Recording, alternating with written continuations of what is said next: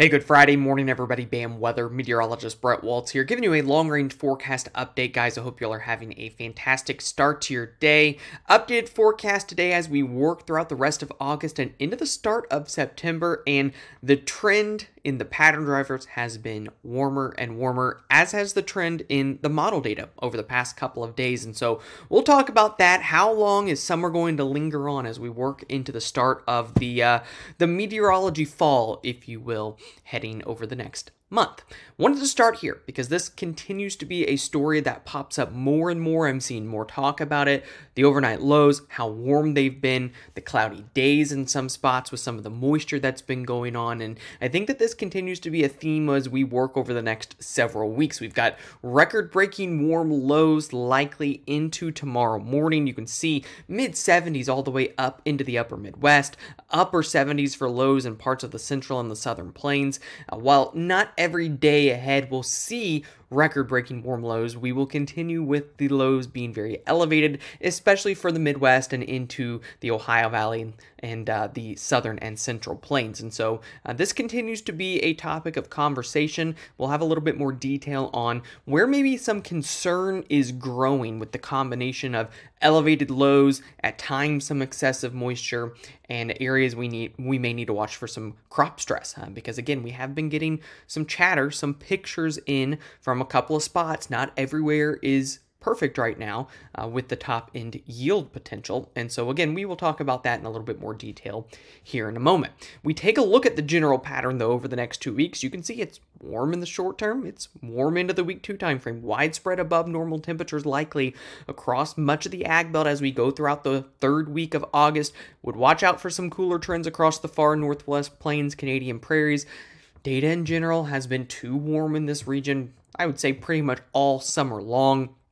And with that as well, we'll likely see moisture opportunities. In the short term, the heaviest rains will likely be across parts of the Midwest from northeast Kansas, northern Missouri, northwest Illinois, the southern and central part of Wisconsin and into the eastern half of Iowa. Could see several inches of rain across eastern Iowa and into northwestern Illinois. Uh, let me see if I can pull up here a slightly better image of that because, uh, again, you know, when you start talking about three, four inches of rain, that moisture is going to hang around for a while. It takes a while to evaporate that out. And with the very warm, elevated lows, uh, you know, that's just a lot of, uh, of moisture that the crops are going to be dealing with and, not a lot of time to air them out overnight. We're just not getting uh, these situations where we get lows uh, to kind of relieve some of the, the heat stress in these regions. And so if we take a look here, um, we zoom out so we can take a look here at the rainfall table at the bottom, you can see a widespread area of two to four inches of rain. Northern Missouri, eastern Iowa, northwest Illinois, could even be some locally higher totals in there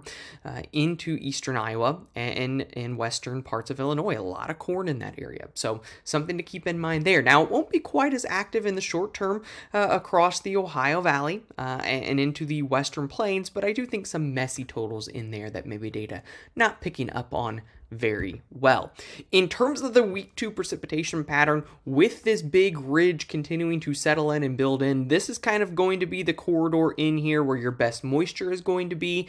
Likely not going to be as active across the central plains and into the Ohio Valley. And on top of that, we're going to need to watch for the risk of tropical activity up the east coast, which historically would be a drier risk for the eastern ag belt. And if we take a look at just how things average out into the week two time frame, guys, we can see here not as active. Now, I don't think it's bone dry. I do think, especially earlier in the period, there are some moisture opportunities, but, you know, I don't think that we are nearly as active as, you know, what we have been for parts of the eastern ag belt as we go through the middle part of August, but still continuing to be active across the northern plains, upper Midwest. I would watch out for some wetter trends in parts of Iowa and Nebraska as well in the week two period.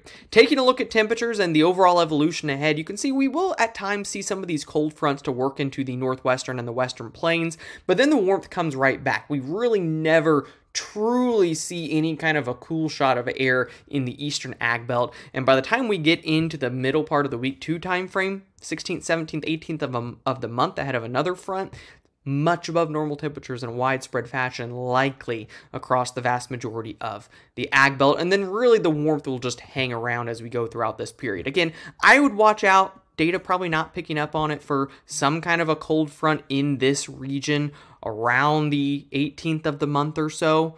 Uh, that's pretty much where they've been dropping in, but uh, all things considered, the warm pattern will persist.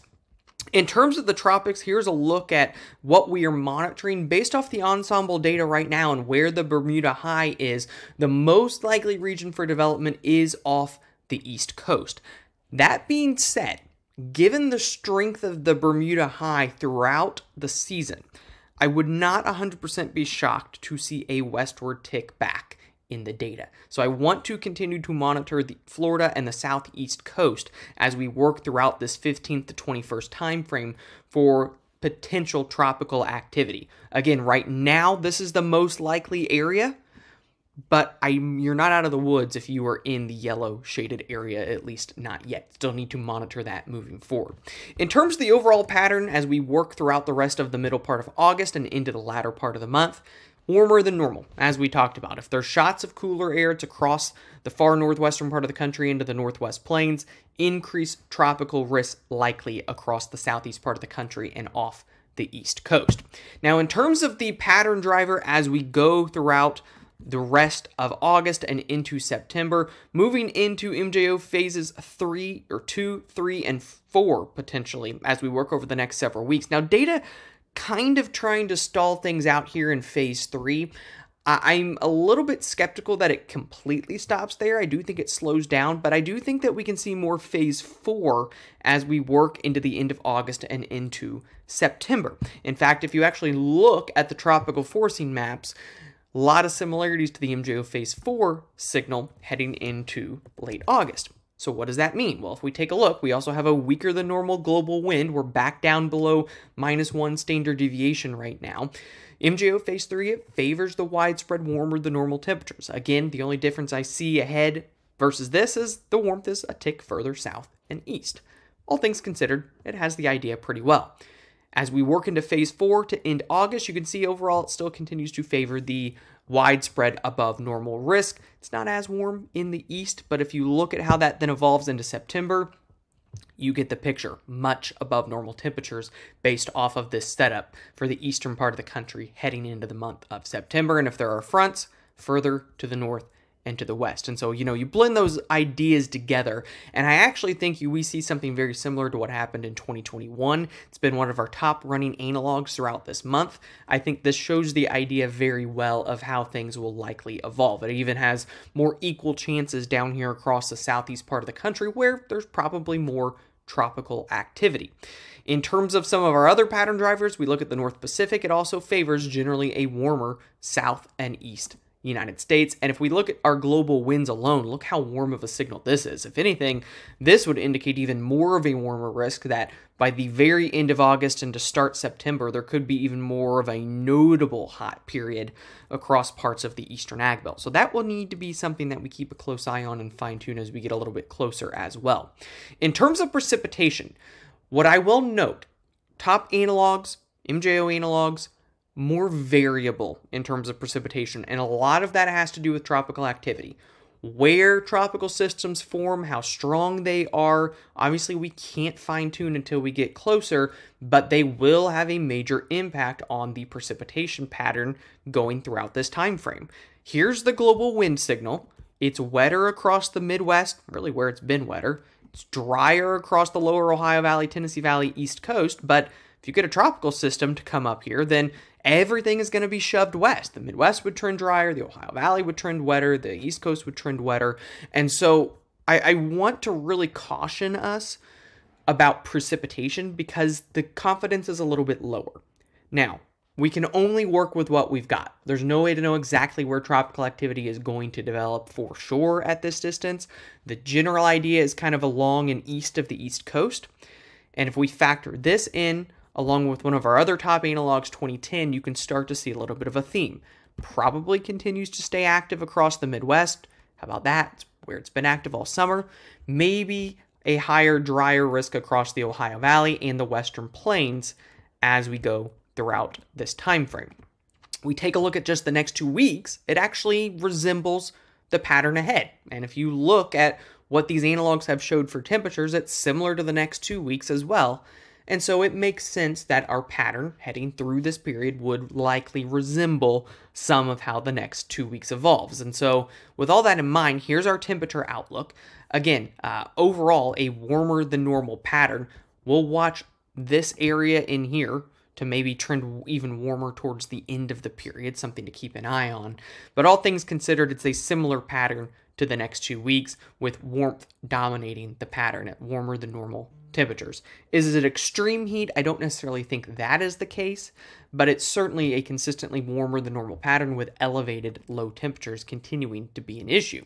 In terms of precipitation here, we tried to match this up to the analogs that we showed in our global wind signal and similarities to the, to the next couple of weeks. So more active across the northern plains, upper Midwest, not as active across the western plains and into the Ohio Valley. We'll need to watch how tropical systems evolve, however, along the east coast, which is the forecast risk note. Variability due to tropical cyclones. Very different outcome if this hurricane goes here versus if it comes into the Gulf through here. And so that will just have to be something we monitor as we get a little bit closer. Last thing before we go, I do want to note this. There is the risk, and we are already seeing reports of it, of some crop stress due to the very warm overnight lows and at times some of the excessive rains. We talked about the excessive rains in the short term in this area. You combine that with very warm overnight lows, and you can start to see some problems arise. Again, we've seen chatter about it. Further to the east, while it's not as active, the very warm overnight lows continue. In fact, this region in here has been having one of the warmest summers on record in regards to overnight lows. And so I, do want to highlight with the persistent pattern ahead, there could be some stress in here now through early September related to this type of a signal. So something we continue to want to highlight and keep a close eye on ahead. Guys, that's all I have for today's forecast. If you have questions, as always, don't hesitate to reach out. Have a great weekend.